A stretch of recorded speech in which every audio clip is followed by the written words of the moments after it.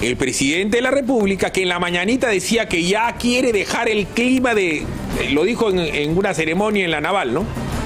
El presidente Pedro Castillo, gracias Vivian, presidente Pedro Castillo Terrones, en la mañana agarra y dice, ya dejemos el clima de confrontación. Pero se entera de lo que había pasado, esto ha sido más o menos a la una y, y 45 de la, de la tarde, y el tipo a la hora y media dice, la crisis institucional a la cual me referí en mi mensaje al Congreso refleja la última decisión del TC. Los órganos de justicia internacional a los que el Perú está adscrito y el Estado de Derecho deberán cautelar el ejercicio efectivo de la justicia para el la justicia para el pueblo y la justicia para... Entonces, ¿qué van a hacer? Van a ir a los organismos internacionales a ver una recontra caviar como Mirta Vázquez, que es abortera, antiminera, caviar, antifujimorista, te lo está contando. La crisis institucional dice Ahora, ¿qué dice Mirta Vázquez? El derecho internacional prohíbe que los condenados por lesa humanidad sean beneficiados con amnistía. Bueno, Fujimori no ha sido condenado por delito de lesa humanidad, lo ha explicado San Martín varias veces. César San Martín, el carcelero de Fujimori, no podía ser condenado por ley, delito de lesa humanidad porque no estaban tipificados así al momento de la sentencia. Indultos u otros, el TC no puede violar los derechos de la verdad y la justicia de las víctimas la dictadura. No al indulto ilegal, no a la impunidad. El indulto lo dio PPK. No lo ha dado este TC. Este TC ha anulado la anulación del indulto entero. Pero sigue diciendo Mirta Vázquez el TC atropella la memoria, el derecho a la justicia de las víctimas. Hay ONGs que se dedican a esto, que tienen un negocio nacional o internacional de ser antifujimoristas y todo el día están con el tema de los derechos humanos. Al ordenar la liberación de Fujimori, condenado por delito de leso, eso lo repiten, lo repiten como una letanía. Eso es falso. Fujimori no ha sido condenado por delitos de lesa humanidad porque no eran tipificados así en el momento de la... Eso es clarísimo. Este gobierno debe acudir de inmediato a la Corte Interamericana de Derechos Humanos y garantizar que no hay impunidad. También lo dice a las 3 de la tarde. ¿Correcto? Volvimos a las calles a rechazar y tal. Han salido a la calle. Bueno, si Keikos comienzan a salir más gente, se olvidaron de la marcha de la vacancia. Porque hay gente que vive de esto. El común de la gente que está con ellos son chiquillos que no saben ni lo que pasó, que ni habían nacido cuando Fujimori era presidente o tenían un año o dos años. No tienen idea de lo que pasó, es lo que le han contado. Pero salen y hablan. Ahí hay una señorita con la foto de Pedro Wilca, el papá de Indira Wilca, matado por Sendero Luminoso. Así es sencillo. Fujimori nunca más y Nuevo Perú y las banderas, lo que ustedes quieran. ¿No? Ahí está Mirta Vázquez. Está Gisela Ortiz, que vive y se echó famoso, hasta ministra de Cultura, sin tener cultura para hacer un crucigrama, ha sido la señora, porque su hermano muere en la cantuta. Entonces, eso es lo que dice Mirta Vázquez. Vladimir Cerrón, ¿no es cierto? Y tampoco es que ha salido un montón de gente. ¿eh? ¿Hasta cuándo no entenderán que los fallos del Tribunal Constitucional y de la Corte del Supremo tienen un alto componente político? Prueba que nada está ajeno a este fenómeno, pues en la sociedad todo está concatenado, no hay nada independiente de nada. Por eso es que cuando han absuelto a Bermejo no hay nada independiente de nada. Pues. Por eso es que él está pidiendo que le anulen su impedimento de ser funcionario público. El día que le den la razón, si se la da, ahí sí va a decir, esta justicia es buena eso lo dijo a, un cuarto para las 3 de la tarde. ¿Qué más dice Vladimir Cerrón? Porque este, todo el día tuitea, le encanta, le fascina y la loca tener el aparato en la mano. Los delitos cometidos por Alberto Fujimori son crímenes contra la humanidad, no solo contra el Perú. Por tanto, la competencia final la tendrá un tribunal internacional, pero el proteccionismo del expresidente Morales Bermúdez, condenado por lo mismo, anuncia un mal presagio.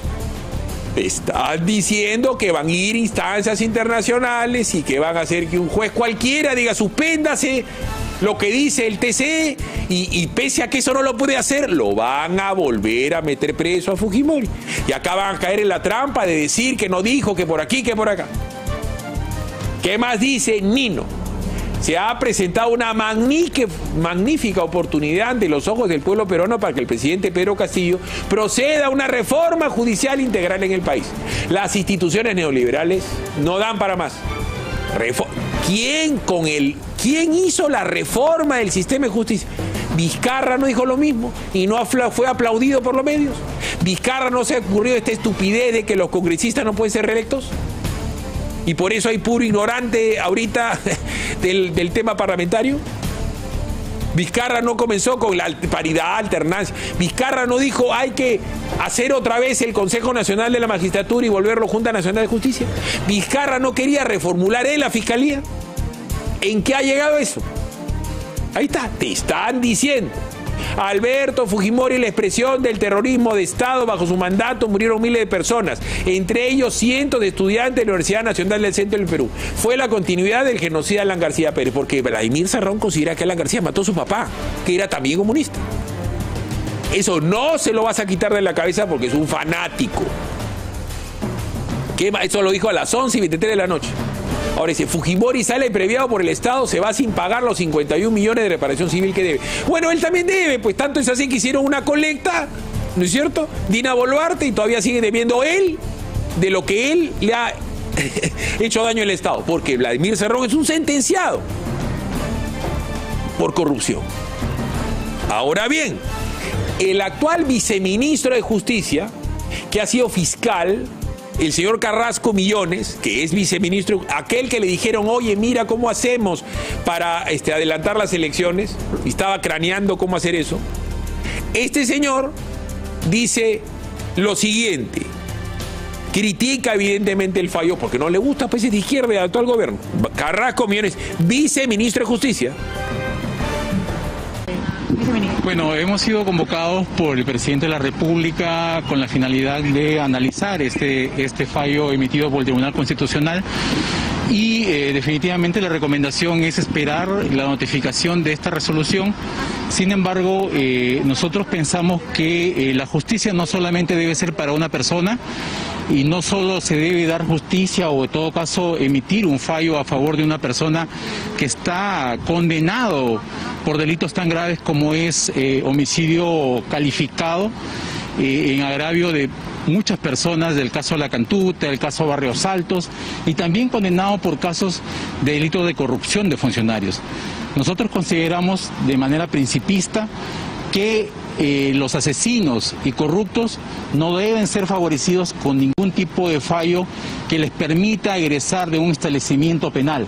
Deben cumplir su condena y además pagar sus reparaciones civiles. Yo creo que los agraviados en este caso están siendo revictimizados con este fallo del Tribunal Constitucional, ya que no se les ha considerado para nada en, la emisión de este fallo que para la Corte Interamericana de Derechos Humanos ha señalado que no se puede, no procede un indulto para las personas que han cometido delitos tan graves como homicidio calificado y de lesa humanidad.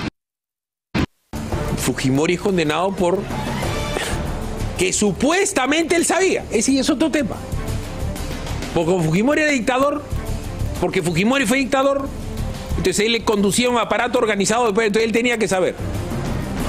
En ningún momento le probaron a Fujimori que dio la orden a Colina. Eso es absolutamente falso. Dijeron, se supone que él debía saber. Esa es la teoría de, la, de Roxy, un famoso tratadista, que es, si tienes conocimiento, tienes responsabilidad, porque eres el presidente. Pregúntale Luceda, que es acaso el periodista de investigación más querido y respetado por los caviares del Perú. Fujimori no tenía, pero ese es parte de, saber si fue bien, bien condenado o mal condenado, si le probaron o no le probaron, si fue buen presidente. Eso ya no está en discusión, si fue buen o mal presidente, si usted lo quiere o no lo quiere. Acá el tema es muy sencillo, han anulado la anulación del instituto que le dio PPK. Entonces, el señor Carrasco Millones que gran cosa como abogado no es, habla en vez de que hable Ildefonso Narro, que es el ministro de Justicia. Entonces, ayer por si acaso los han convocado a ellos y también a los jefes de las tres Fuerzas Armadas, Policía, Aviación, el Ejército y además la FAP, en la noche. Entonces este señor va a Palacio y dice que va a acudir a instancias internacionales.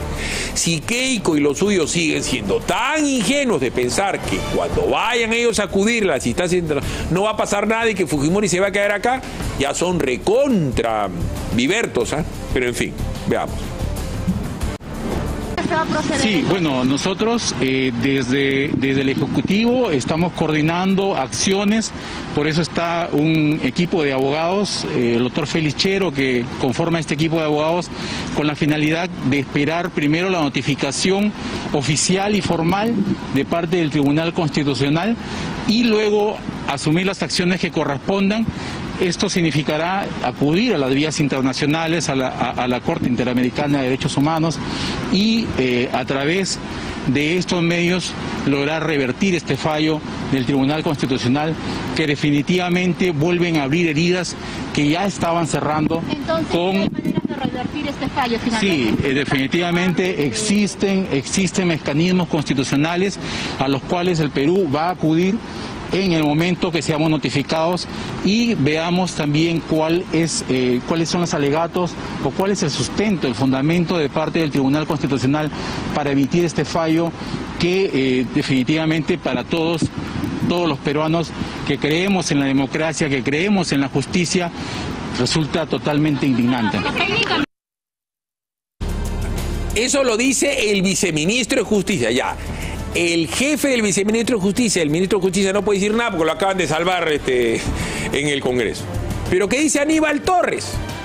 Aníbal Torres, por si acaso, y les he enviado creo que la fotito a Aníbal Torres, acaba de estar hace nada en el momento en donde el TC es este ensalzado y en donde el señor Ferrero es el, presidente del TC. Tenemos esa foto, Quique Bravo Prado. Ayer nos hacía recordar eso nuestro amigo César Campos. Entonces, este señor, este señor, hace menos de un mes y medio, o un mes y medio creo, fue a la ceremonia, ¿no es cierto?, del inicio del año, ¿sabe Dios qué?, judicial, porque él, es, él ha sido en su condición de premier Apertura del año jurisdiccional del TC. ¿Quién está ahí? ¿Quién está ahí? Aníbal ¿En su condición de qué está Aníbal Torres? De ministro de Justicia, ahorita nomás. Él, él ha ido como ministro de Justicia a una ceremonia, de estas ceremonias que no sirven para nada, dicho sea paso, pero están ahí, ¿no? El, año judicial, el cierre año judicial, bueno. Este es el inicio, la apertura del año jurisdiccional del TC. Ahí está el señor. 5 de enero de este año. Bueno, ¿qué dijo ayer? Como no le gustó lo que dice el TC, que ya hay que cambiar, que ya hay que borrar el TC del mapa. Aníbal Torres.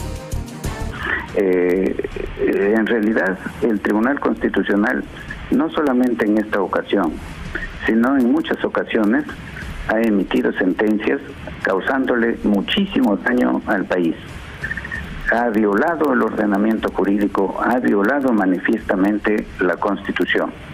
Por eso es que yo me he pronunciado en diversas ocasiones en el sentido de que este organismo debe desaparecer, que en el Perú hay que acabar con el control concentrado de la Constitución, sino hay que ir a un control difuso, o sea que el control lo ejerza la misma Corte Suprema, por supuesto mejorando la calidad de la Corte Suprema. Recordarán ustedes que en otros casos, por ejemplo, no el tribunal liberó a una empresa poderosa del pago de una millonada de dinero por concepto de impuestos. Y a cada rato anda dictando normas que contravienen a la Constitución. Bueno, a cada rato entonces ¿qué hacías tú en el año jurisdiccional ahí?